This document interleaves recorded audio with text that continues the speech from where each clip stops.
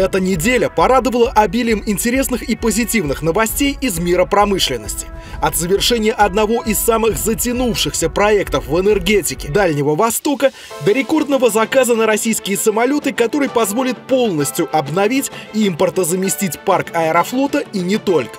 Разберем все по порядку и расскажем об истории одного спасения. Но сначала традиционная сводка новостей короткой строкой.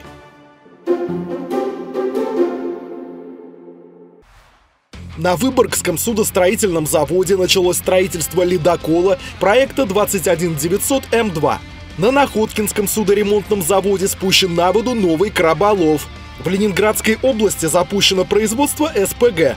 В Якутии стартовала работа на разрезе Сылахский, который станет одним из локомотивов развития угольной промышленности Дальнего Востока. Крупный проект модернизации завершен на Якутском газоперерабатывающем заводе. В Томском политехе открыто первое в России производство легированного кремния большого диаметра. В Подмосковье производство композиционных изделий для самолетов за 1 миллиард рублей. В Приморском крае новый завод гофротары. В Башкирии завод железобетонных конструкций. В Томске завод ОСП «Плит». Во Владимирской области мебельное производство. В Уфе новая линия производства бытовой химии.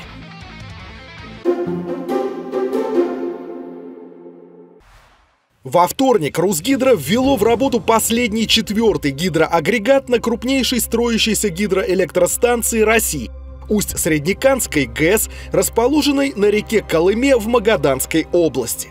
В результате суммарная мощность станции составила 570 мегаватт. Чтобы сполна оценить значимость события, нужно вспомнить, что спроектировали станцию еще в 80-х годах – Правда, из-за сложных климатических условий, а толщина вечной мерзлоты в месте расположения станции достигает 300 метров, при температуре воздуха порой опускающейся до минус 60 градусов, завершить стройку планировали к 2000 году. И хотя к первым работам приступили в 1992 году, последующее десятилетие для этого объекта, как и для многих других в стране, стало потерянным. Финансирования не было, активного строительства тоже. Только с середины нулевых на объект потекли федеральные деньги, и дело пошло в гору. В результате в 2013 году были запущены первые два агрегата. Станция начала вырабатывать электроэнергию.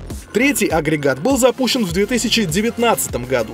И вот на этой неделе заработал последний четвертый, в результате чего ГЭС достигла проектной установленной мощности. Официально стройка завершится в следующем году, но уже можно утверждать, что один из самых затянувшихся проектов в энергетике страны успешно реализован. Зачем же он потребовался?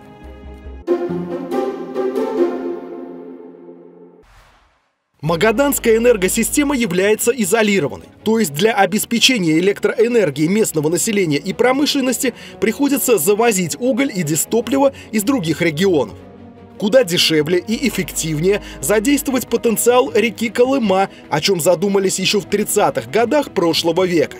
В 1982 году был запущен первый агрегат Колымской ГЭС, а Усть-Среднеканская теперь стала ее дополнением. В результате работа Колымского каскада ГЭС повысит надежность энергоснабжения региона, обеспечит судоходство на Колыме и, главное, создаст предпосылки для развития промышленности – а значит и новые рабочие места, что позволит остановить отток населения. Помимо уже существующих золотодобывающих предприятий в регионе, до конца года стартует добыча на месторождении Теутеджак. Более дешевая электроэнергия стимулирует строительство крупного центра обработки данных. Эти планы сейчас обсуждаются. Также на ВЭФ подписано соглашение о строительстве железной дороги протяженностью 1600 километров из Магадана в Якутию. Просчитывается возможность организации предприятия по выпуску грузовых контейнеров. Кстати, в Якутии, которая тоже имеет децентрализованную энергосистему, на этой неделе ввели в эксплуатацию четыре современных гибридных энергокомплекса, которые позволят сэкономить на привозном топливе. Три подобных комплекса было введено там в строй ранее, а всего планируется строительство 72. Есть и более радикальные решения для Дальнего Востока. Так, Росатом заявил о возможности строительства в Приморье мощной АЭС с высоким экспортным потенциалом. либо атомных станций малой мощности для региональных нужд. Но это пока далекие планы. А из уже реализованного отметим еще и введенную в строй на этой неделе в Приморье крупную подстанцию за 5 миллиардов рублей, которая даст импульс к дальнейшему развитию портовой зоны и промышленности находки. Помимо энергетики, еще одним злободневным вопросом для востока страны является авиасообщение. А после февральских событий и ухода иностранных производителей этот вопрос стал острым и для всей страны.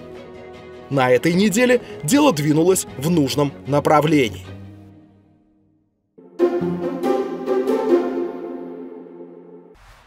Как стало известно в ходе Восточного экономического форума, до 2030 года на смену импортным самолетам придет более одной тысячи новых воздушных судов отечественного производства. Также в планах в этот же срок произвести более 5000 авиационных двигателей – Контракт на поставку 339 самолетов между Аэрофлотом и Объединенной авиастроительной корпорацией уже подписан. Согласно ему, крупнейший российский авиаперевозчик приобретет в ближайшие 8 лет 210 самолетов МС-21, 89 Суперджет Нью и 40 Ту-214. Средства на финансирование лизинговой сделки будут взяты из Фонда национального благосостояния, что уже само по себе отличная новость.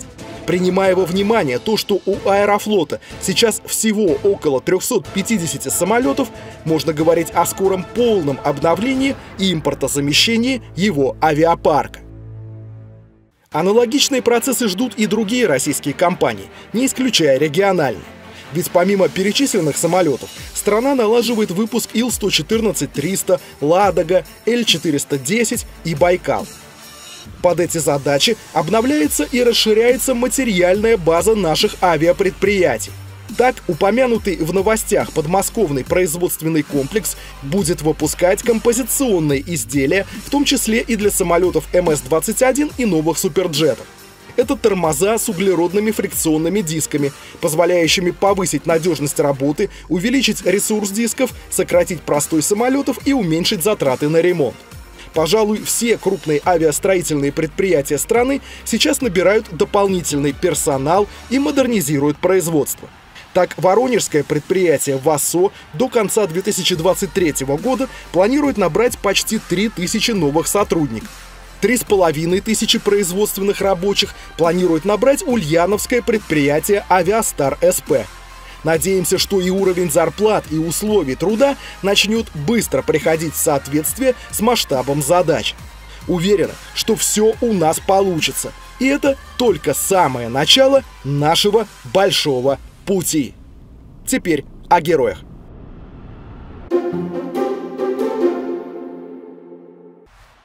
В самолете, летящем в Красноярск, внезапно стало плохо одному из пассажиров.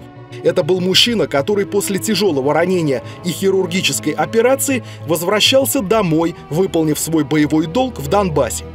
По случайности на борту находился главврач Красноярской станции скорой помощи Сергей Скрипкин. Он смог оперативно оказать бойцу первую помощь, вколол обезболивающее и привел в чувство – сам врач тоже возвращался из Донбасса, где на протяжении месяца работал в стационаре и в полевых условиях, помогая гражданским и военным. Примечательно, что в начале августа на пути из Красноярска в Москву доктор уже оказывал первую помощь другому молодому пассажиру, у которого в полете резко понизилось давление. Тогда оказалось достаточно салфетки с аммиаком и крепкого сладкого чая, чтобы человек пришел в себя – но, видимо, лечить и помогать – это судьба смелого доктора. Желаем ему самому крепкого здоровья и успехов. Берегите себя и своих близких. Мы желаем вам доброй и бодрой недели. Текст выпуска и первоисточники ищите на нашем сайте времявперед.рус. Благодарим каждого за помощь и доброе пожелание. Подписывайтесь на наш канал и резервные площадки в Рутюбе, ВКонтакте и Телеграм, чтобы не потерять на случай блокировки.